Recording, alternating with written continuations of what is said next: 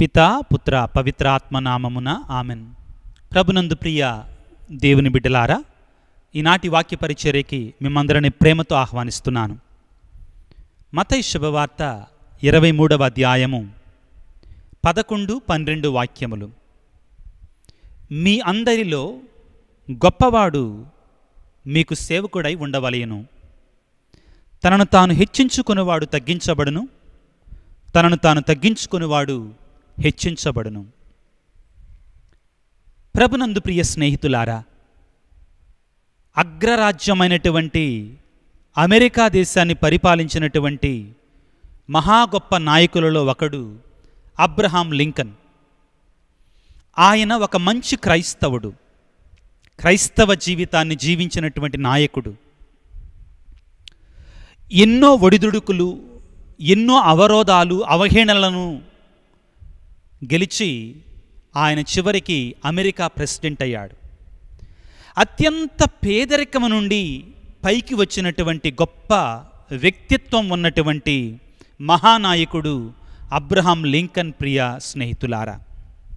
అయితే ఈయన ఒకసారి అమెరికాకి ప్రెసిడెంట్ అయిన తర్వాత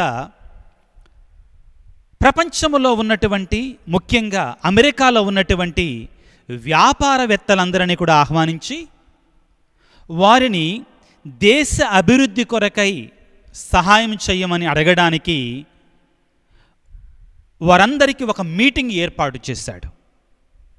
అందరూ కూడా వచ్చారు మీటింగ్ హాల్లో కూర్చున్నారు. అమెరికాకి నూతనంగా ప్రెసిడెంట్గా ఎన్నికైనటువంటి అబ్రహాం లింకన్ వారికి చెప్పటానికి వారితో సంభాషించటానికి వారికి ప్రసంగించటానికి ముందుకు వెళుతున్నాడు. హఠాత్తుగా అక్కడ కూర్చున్నటువంటి ధనవంతుడైన ఒక బిజినెస్ మ్యాన్ పైకి లేచి తన కాలికి ఉన్నటువంటి బూటును పైకి తీసి షూ పైకి తీసి అబ్రహాం లింకన్ యొక్క ముఖం ముందు పెట్టి ఈ విధంగా అన్నాడు. లింకన్ నీకు తెలుసా? ఈ నా బూటుని ఈ నా షూని మీ నాన్న కుట్టాడు. నీవు చెప్పులు తయారు చేసుకునేటువంటి వాడి యొక్క కుమారుడివి. నీవు మాకు బిజినెస్ గురించి వ్యాపారం గురించి పాఠాలు చెప్పటానికి వెళ్తున్నావా? నీవు ఎక్కడి నుంచి వచ్చావో గుర్తుపెట్టుకో అని ఎగతాళిగా అవహేళన చేశాడట ప్రియ స్నేహితులారా. ఇది అబ్రహాం లింకన్ జీవితంలో జరిగిన సంఘటన. అందరూ షాక్ అయ్యారు అక్కడ ఉన్నటువంటి వారు. అబ్రహాం లింకన్ దేశ ప్రధాని. Is the president of America ఒక్క చిటిక వేస్తే ఈ వ్యాపారవేత్తని అరెస్ట్ చేయొచ్చు. కానీ అబ్రహాం లింకన్ ఒక మంచి క్రైస్తవుడిగా ఏమన్నాడో తెలుసా? నేను మీకు వ్యాపారాన్ని గురించి బోధించే ముందు గొప్పవాడైన మా నాన్నను గురించి జ్ఞాపకం చేశావు. థ్యాంక్ యూ నీకు ధన్యవాదాలు అని చెప్పి ఈ విధంగా అన్నాడంటండి. అవును మా నాన్న చెప్పులు కుట్టేవాడు బూట్లు కుట్టేవాడు. He was a shoe maker నీ షూ మాత్రమే కాదు ఇక్కడ ఉన్నటువంటి ధనవంతులకి చాలామందికి మా నాన్న చెప్పులు కుట్టాడు షూస్ కుట్టాడు. కానీ మా నాన్నలో ఉన్న గొప్పతనం ఏంటంటే పెద్ద కాలికి చిన్న షూని చిన్న కాలికి పెద్ద షూని కుట్టేవాడు కాదు. My daddy was a perfect shoe maker మా నాన్న షూలు కుట్టాడంటే బూట్లు కుట్టాడంటే వాటికి మచ్చ ఉండేది కాదు మాట ఉండేది కాదు ఎదురు ఉండేది కాదు. ఒకవేళ ఇక్కడ కూర్చున్నటువంటి వాళ్ళల్లో ఎవరివైనా కానీ మా నాన్న షూ తయారు చేస్తే అవి పాడైపోతే నాకు చెప్పండి మా నాన్న కుట్టినటువంటి ఆ మీ షూలను నేను వచ్చి నేను బాగు చేస్తాను అని చెప్పాడంటండి ఆశ్చర్యంగా. ప్రియ స్నేహితులారా ఆ విధంగా చెప్పి ముందుకు కొనసాగిస్తూ ఈ విధంగా అన్నాడంటండి. ఏమిటి అంటే మా నాన్న మీరు నడవటానికి చెప్పులు కుట్టాడు షూస్ తయారు చేశాడు. దేవుడు నన్ను ఇదిగో ఈ దేశం ముందుకు నడవడానికి చెప్పులు కుట్టడానికి పంపించాడు. మా నాన్న వ్యక్తిగతంగా మీరు నడవటానికి చెప్పులు తయారు చేస్తే దేవుడు నన్ను ఈ దేశానికి నాయకుడిగా ఎన్నుకొని ఈ దేశం ముందుకు నడవటానికి ఈ దేశానికి షూస్ తయారు చేయమని నన్ను ఒక నాయకుడిగా ఎన్నుకున్నాడు అని అబ్రహాం లింకన్ గొప్పగా చెప్పి తన దీనత్వాన్ని తన వినయాన్ని ప్రదర్శించుకున్నాడంటండి. హాలులో ఉన్నటువంటి వ్యాపారవేత్తలందరూ కూడా ఒక్కసారిగా లేచి నిలబడి గట్టిగా చప్పట్లు కొట్టుకుంటూ ఆ హాలు మారుమ్రోగేదాకా చప్పట్లు కొట్టారంటండి అబ్రహాం లింకన్ చెప్పినటువంటి సమాధానానికి. అబ్రహాం లింకన్ చివరిగా ఈ మాటలు చెప్పాడంటండి. ఏమిటి అంటే ఇదిగో అమెరికా చరిత్ర పుటలలో ఈ నేను చెప్పేటువంటి మాటలు సువర్ణక్షరాలతో లిఖించబడతాయి. ఏమిటి అంటే ఈ దేశానికి ఒక చెప్పులు కుట్టేవాడి కొడుకు కూడా ప్రధానమంత్రి కావచ్చు అనే సత్యం అందరూ తెలుసుకుంటారు అని చెప్పి తాను వ్యాపారవేత్తలకి తాను చెప్పాల్సినటువంటి ఆ యొక్క ప్రసంగాన్ని చెప్పాడట. క్రీస్తునాథుని ఎందు ప్రియ సహోదరి సహోదరులారా అబ్రహాం లింకన్ క్రైస్తవ వినయము క్రైస్తవ దీనత్వము ఏ విధముగా ఉండాలో క్రైస్తవులందరికీ నేర్పినటువంటి ఒక మహానాయకుడు మంచి వ్యక్తిత్వం ఉన్నటువంటి ఒక మహా వ్యక్తి ప్రియ స్నేహితులారా. క్రైస్తవలంగా క్రీస్తు ప్రభు మనందరికీ నేర్పించినటువంటి సత్యం ఏమిటి అంటే ప్రియ స్నేహితులారా మీలో ఎవరైనా కానీ గొప్పవాడు కాదలిస్తే అతను అందరికంటే కూడా సేవకుడుగా ఉండాలి. తనను తాను హెచ్చించుకునేవాడు తగ్గించబడును తనను తాను తగ్గించుకునేవాడు హెచ్చించబడును. అబ్రహాం లింకన్ ఎప్పుడైతే ఇదిగో నేను చెప్పులు కుట్టేటువంటి వాడి కొడుకునే దేవుడు చెప్పులు కుట్టేటువంటి వాడిని ఎన్నుకొని ఈ దేశం నడవడానికి ఆర్థికంగా సామాజికంగా ముందుకు నడవడానికి నన్ను ఎన్నుకున్నాడు అని చెప్పినప్పుడు ప్రియులారా ఎవడైతే గర్వంతో విర్రవీగాడో ఆ వ్యాపారవేత్త అతడు తన తన తల దించుకొని అవమానకరంగా కూర్చున్నాడంటండి. కానీ తనను తాను తగ్గించుకున్నటువంటి దీన మనస్కుడైనటువంటి అబ్రహాం మాత్రం అందరి ఎదురుగా ఎదురుగా కూడా ఈ రోజుకు కూడా కొనియాడబడుతున్నాడు వేనాళ్ళ వేనాళ్ళతోటి ప్రియులారా. అందుకే ప్రభు అంటున్నాడు ప్రియ స్నేహితులారా. మత శుభవార్త ఇరవై మూడవ అధ్యాయము పదకొండవ వాక్యములో అందరిలో గొప్పవాడు మీ సేవకుడై ఉండవలయను ఆ తరువాత తనను తాను హెచ్చించుకునేవాడు తగ్గించబడును. తనను తాను తగ్గించుకునేవాడు హెచ్చించబడును. ప్రభునందు ప్రియ దేవుని బిడ్డలారా క్రైస్తవలంగా మనం ఎప్పుడు కూడా గుర్తుంచుకోవాల్సింది ఏమిటి అంటే మనలో ఎప్పుడైతే గర్వం బయలుదేరుతుందో మన వినాశనం మొదలైనట్లే. గర్వాత్ములు ఎప్పుడూ కూడా పరలోకములో ప్రవేశించరు అని పౌలు గారు తన యొక్క లేఖలలో స్పష్టంగా తెలియచేశారు ప్రియులారా. ఇదిగో ఈ రోజున మనందరం కూడా ఆత్మ పరిశీలన చేసుకోవాలి.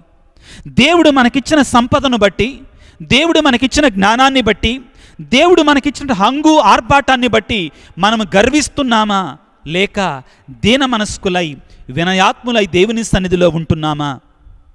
మతై శుభవార్తలో క్రీస్తు ప్రభు ఐదవ అధ్యాయంలో మూడవ వాక్యం నుంచి అష్టభాగ్యాలు బోధిస్తాడండి. వాటిలో మొట్టమొదటి ప్రియ దేవుని బిడ్డలారా మతై శుభవార్త ఐదవ అధ్యాయము మూడవ వాక్యం ఈ విధంగా సెలవిస్తుంది. దీనాత్ములు ధన్యులు దేవరాజ్యము వారిది. తెలుగులో మనందరికి తెలిసినటువంటి ఒక చక్కని సామెత ప్రియ స్నేహితులారా అన్నీ ఉన్న ఇస్తరు అణిగిమణిగి ఉంటుందంటండి. ఏమి లేని ఇస్తరు ఎగిరెగిరి పడుతుందంటండి. నీవు నేను ఏ విధంగా ఉన్నాం దేవుని సన్నిధిలో? దీన మనస్కులమై వినయాన్ని కలిగి బ్రతుకుతున్నామా? లేకపోతే మనలో గర్వం బయలుదేరుతుందా? ప్రభువు చెప్పిన గొప్ప ఉపమానం ప్రియ స్నేహితులారా మనం ఎప్పటికీ మరవకూడదు. పరిసయుడు సుంకరి.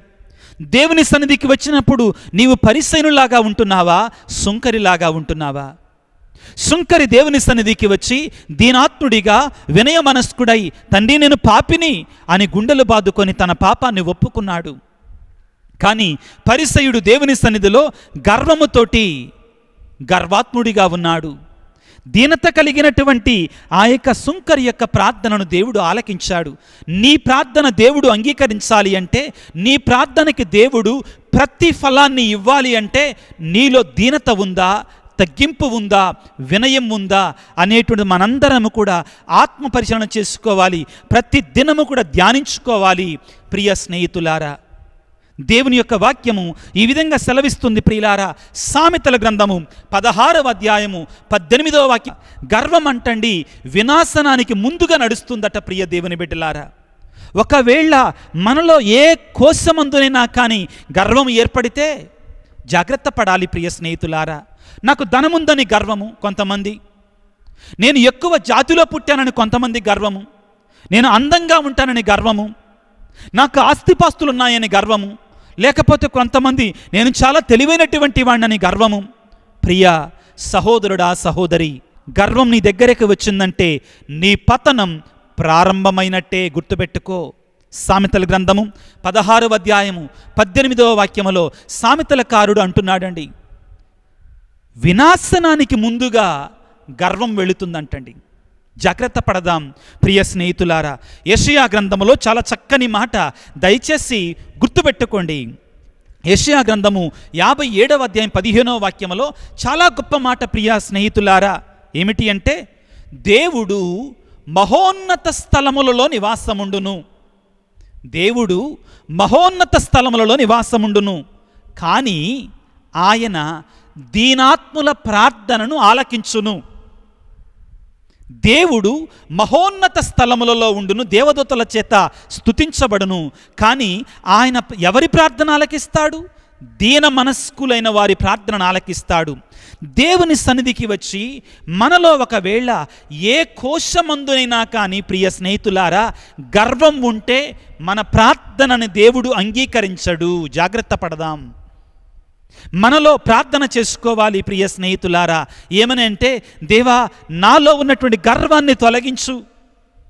నాలో ఒకవేళ గర్వం అనేటువంటి పాపం బయలుదేరితే దానిని ప్రభువా వెంటనే అణిచివేయి. ఫిలిప్పీలకు రాసిన లేఖలో ప్రియ స్నేహితుల రెండవ అధ్యాయము ఏడవ వాక్యము నుండి ప్రభు యొక్క జీవితాన్ని గురించి ఎంత చక్కగా చెప్తాడండి పౌలు గారు ప్రియ స్నేహితులారా.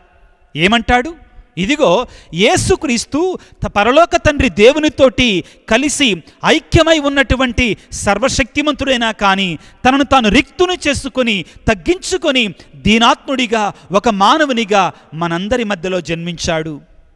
అంతేకాదు ఆయన అత్యంత వినయము గలవాడై తండ్రి యొక్క చిత్తానికి లోబడి ఆయన శిలువపై వేదనలు పొంది మరణించాడు. కావుననే దేవుడు అతని అత్యున్నత స్థానమునకు లేవనెత్తెను అంటాడు. మనలో ఎవరైతే దేవుని సన్నిధిలో వినయాన్ని కలిగి దీన మనస్కులై తనను తాను తగ్గించుకుంటారో అటువంటి వారు దేవుని కృపను పొందుతారు. అదే విషయాన్ని మనం యష్యా నేర్చుకున్నాం ప్రియులారా. యశ్యాగంధము యాభై ఏడు పదిహేనవ వాక్యములో ఏమంటాడు? దేవుడు మహోన్నత స్థలములలో ఉండును కానీ అతడు దీనాత్ముల వినయాత్ముల ప్రార్థనను ఆలకిస్తాడు. నీ జీవితం ఎలాగా ఉంది? ప్రియ స్నేహితుడా ఒక్కసారి ఆత్మ పరిశీలన చేసుకో. ప్రియ క్రైస్తవుడా ఒకవేళ నీలో ఏ కోసమందైనా కానీ ఈ గర్వం ఉంటే దానిని వెంటనే తీసివేసుకో. పరిశుద్ధ బైబిల్ గ్రంథములో ప్రియ స్నేహితులారా మహామహా గొప్ప ప్రవక్తలు ఉన్నారు. మహా గొప్ప పునీతులు ఉన్నారు. దేవుని యాజకులు ఉన్నారు. గొప్ప బిడ్డలు ఉన్నారు. ఎవరిని ఎన్నుకున్నాడు దేవుడు? దీనత కలిగినటువంటి వారిని ఎన్నుకున్నాడు. ఒక చిన్న ఉదాహరణ మోష ప్రవక్త. ఎర్ర సముద్రాన్ని దేవుని యొక్క ఆజ్ఞతో రెండు పాయలుగా చీల్చి ఇస్రాయేలు ప్రజలని కాపాడినటువంటి మహా గొప్ప ప్రవక్త పరలోకం నుండి మన్నాను కురిపించినట్టు ప్రవక్త ఇదిగో బండ నుండి నీతి నీటిని పుట్టించిన ప్రవక్త ప్రియ స్నేహితులారా దేవుని ముఖాముఖిగా దర్శించిన గొప్ప ప్రవక్త. ఆయనను గురించి దేవుడేమన్నాడో తెలుసా?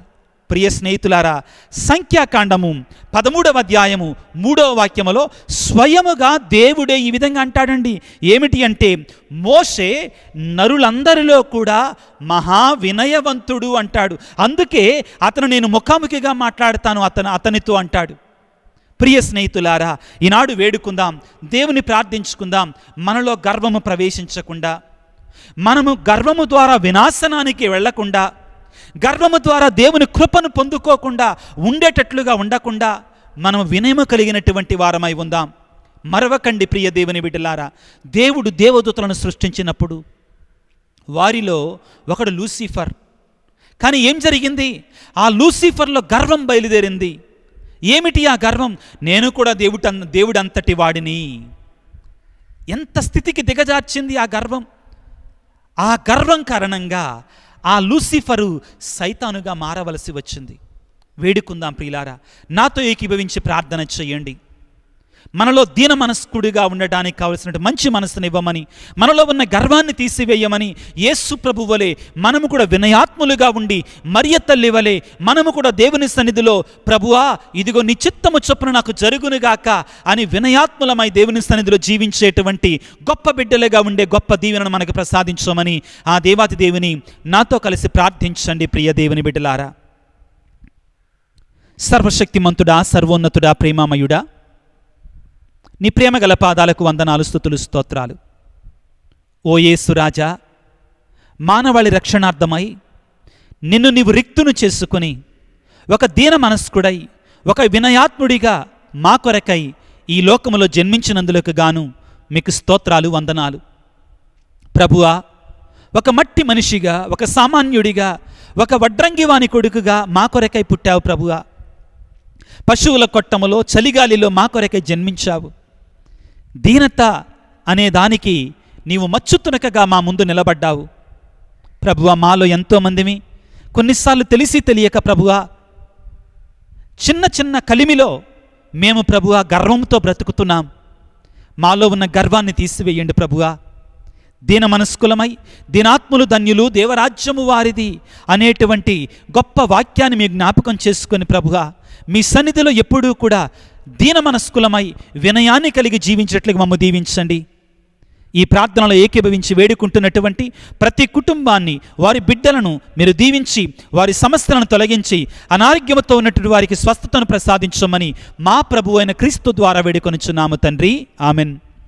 ప్రభువు మీతో ఉందురుగాక మీ ఆత్మతో ఉందురుగాక సర్వశక్తిగల సర్వేశ్వరుడు పిత పుత్ర పవిత్రాత్మ మిమ్ము మీ కుటుంబాలను చల్లగా ఆ దేవాది దేవుడు కాచి కాపాడుదురుగాక.